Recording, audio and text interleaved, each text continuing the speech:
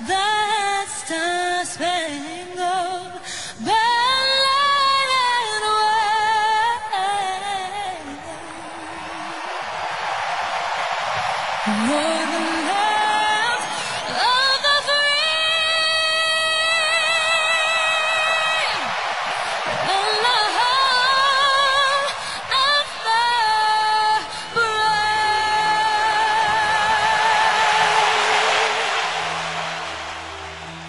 America.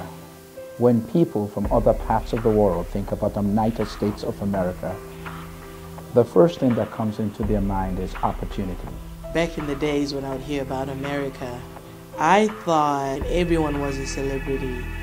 Skyscrapers, ingenious technology, people who have the opportunity to reach out to the best of their God-given potential, America was a land of opportunity. Everyone made it. regardless of their circumstances. Endless stories of miraculous undertaking. It's like America gave immortality. Breakthrough in the financial market, If anybody was sick, if they came to America, recovery from recession, they got healed. a nation that leads a powerful military. But America is not all glamorous. They are challenges. Never in my life. They have been setbacks. I've seen beggars Two million men in America. incarcerated in penitentiary, The worst parts of these lands their lives wasted, in the street. unlikely to get a job.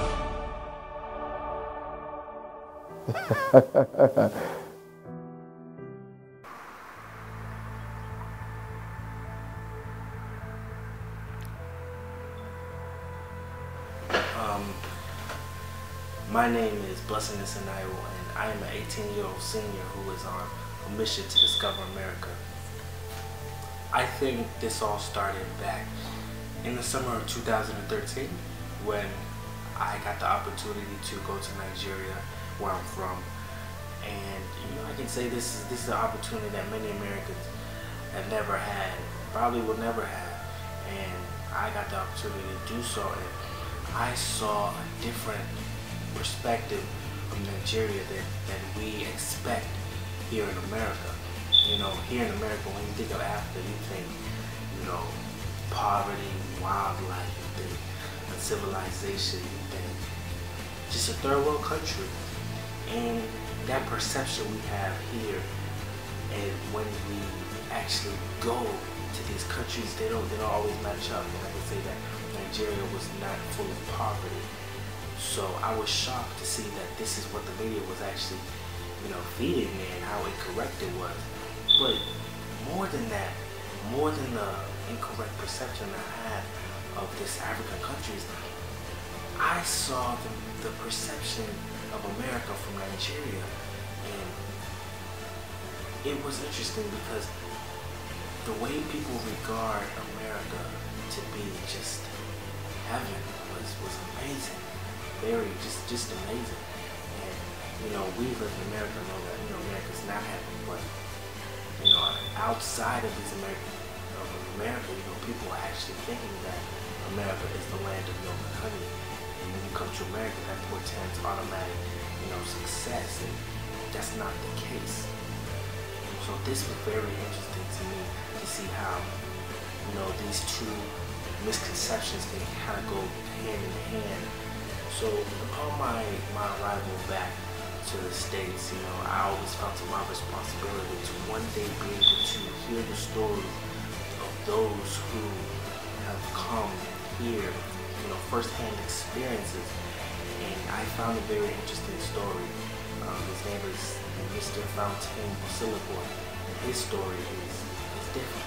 It is very different. It's very interesting, and he agreed to sit down with me and share the story with me, not only me, but you know, to the camera as well.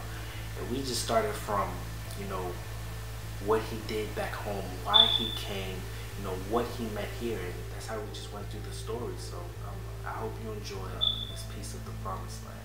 Uh, my name is Fontaine Bosilikwa and uh, I'm from Congo. And uh, I've been in the United States since uh, 1989.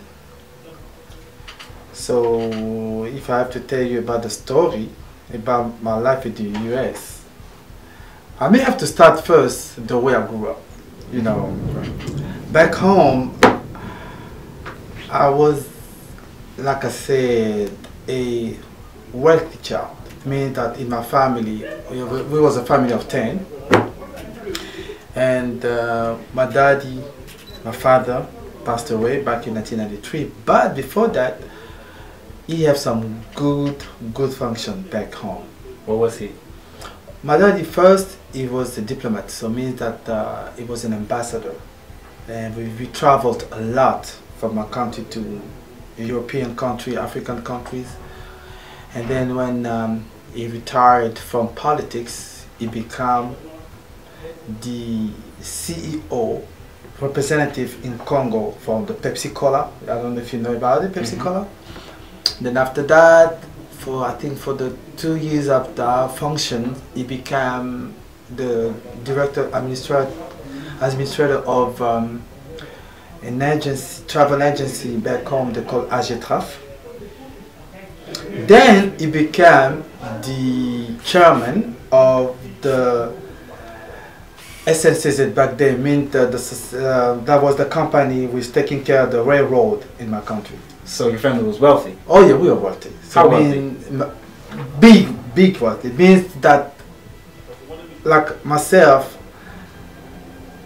by my young age till I grew up, okay, I was not just wash dishes. I have made in my house. I never did my laundry, they was doing it for me until I become like that almost 19 or 20 years old. So not only me, all my family members. So and we really have a good life. Means that uh, hey, my family when they heard my name, my last name, hey man, it means that they talk about somebody. You know that. Let, let, let me tell you something. You know, in the United States, when we talk about the police, I'm just talking about the law, just to be give you a good story about the law, for instance. You know, when you talk about the police over here, you know they have the law. But back then in my country, policemen, whoever, you. ah, they, they cannot stop. me. They can, put- yeah, they might be put me over, like they always say, but when they say my name, just my name,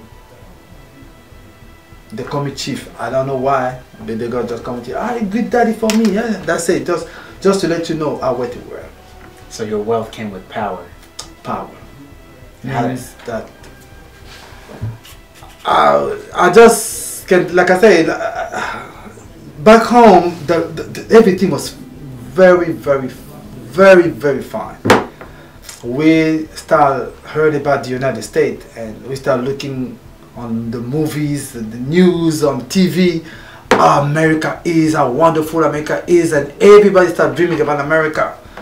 And we start saying, "Ooh, in Africa we already like this. You know, I have a good life, and oh, what's gonna happen when I go there? Oh, I'm gonna be just like a super super king. Back home was you, you lived a good life. Oh yes, I have a good life. I mean that. Uh, I, you know, I, I just I'm proud to say that because my parents, you know, raised me well.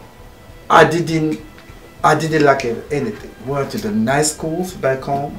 We traveled a lot, and I learned a lot. You know, we was very very wealthy. Means that you know, people envy us but you didn't feel it because hey you you have a good life you know you look at people uh, you put in the money everybody have the same life to you.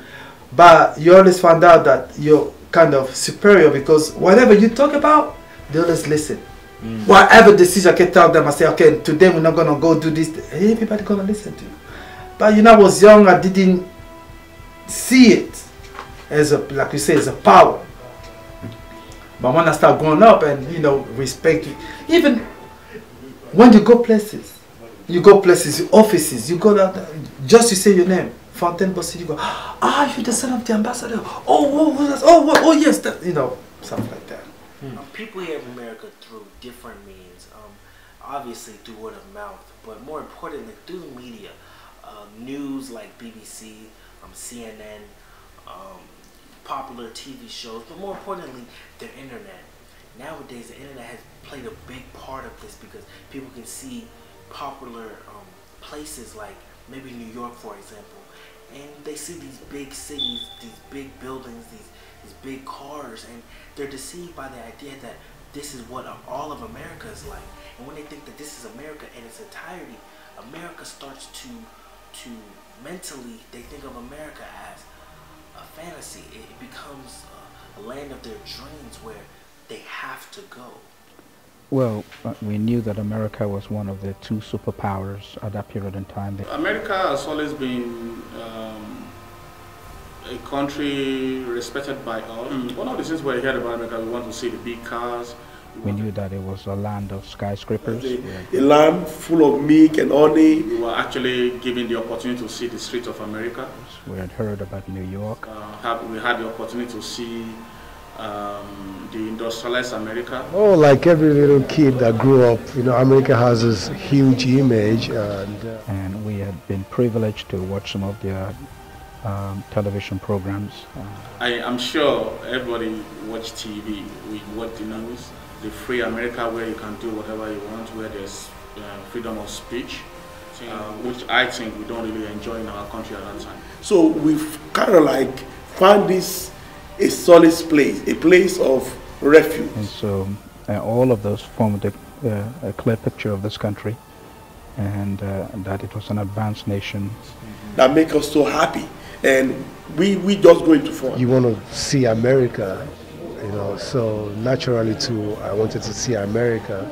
And that uh, a nation that many people aspire to either visit or go to school there or probably live there. Everybody want to come because it, it, doesn't matter whether you said the economy is bad or, or unemployment in the United States is 6.5 or 7.5. People don't care. Just get me into the United States. The interesting thing is, you know, regardless of rank or class or who you are and what your position is on society's ladder, everyone is deceived by this notion that America is the promised land. This becomes dangerous because people come to America with nothing but expect everything.